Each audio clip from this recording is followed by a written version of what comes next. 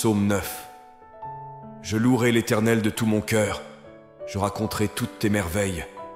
Je ferai de toi le sujet de ma joie et de mon allégresse. Je chanterai ton nom, Dieu très haut. Mes ennemis reculent, chancellent et périssent en ta présence, car tu soutiens mon droit et ma cause. Tu sièges sur ton trône en juste juge. Tu châties les nations, tu détruis le méchant, tu effaces leur nom pour toujours et à perpétuité. Les ennemis sont réduits à des ruines éternelles.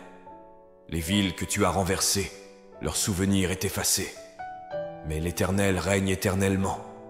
Il a établi son trône pour le jugement. Il juge le monde avec justice. Il juge les peuples avec droiture. L'Éternel est un refuge pour l'opprimé, un refuge au temps de la détresse. Ceux qui connaissent ton nom se confient en toi, car tu n'abandonnes pas ceux qui te cherchent, ô Éternel.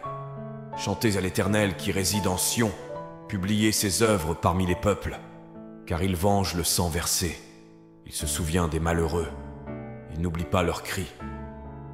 Aie pitié de moi, Éternel.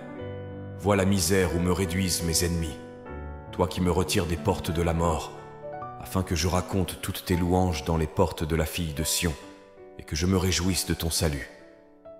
Les nations tombent dans la fosse qu'elles ont faite, leur pied se prend dans le filet qu'elles ont caché. L'Éternel se montre, il exécute des jugements. Le méchant est enlacé par les œuvres de ses mains. Ils seront précipités dans l'abîme.